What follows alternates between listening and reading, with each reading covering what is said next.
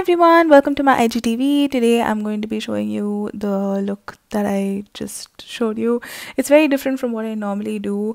Um, as usual, I've already done my base and I'm going in with the Sugar Cosmetics Smudge Me Not liner in blue and just outlining the wing um, and then filling it in. I went I, I did this really really slowly and i just fast forwarded the video because it just took a lot of time.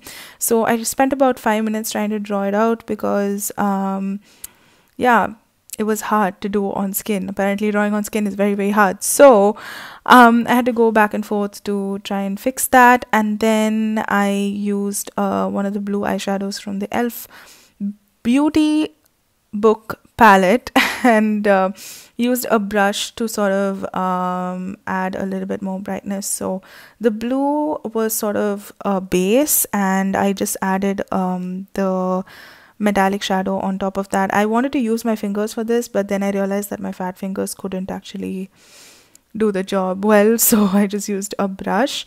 Um, let me know in the comments if you'd like to see uh, my base routine. I have a set base routine nowadays so that's why i don't show it on camera because i've done it quite a few times and i feel like i just spend a lot of time doing it. Anyway i'm going in with brush jet black on my brows i went in with the um, Kiko Milano Tuscan Sunshine lash primer and then for highlighter I used Profusion Sculpt and Glow palette and also using the same thing on my inner corners.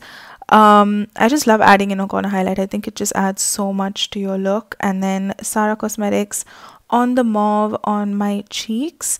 Um i kind of went overboard on the cheeks. I liked that look. So yeah i, I did it all the way till my temples.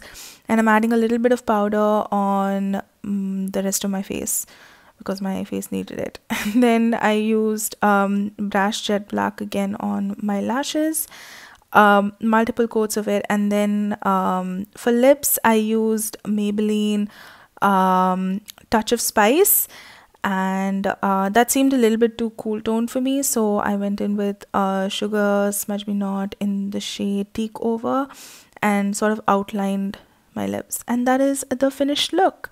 Thank you so much for watching this video. I really hope you enjoyed it. Um, please leave in the comments down below how you liked it and i'll do more of these. Bye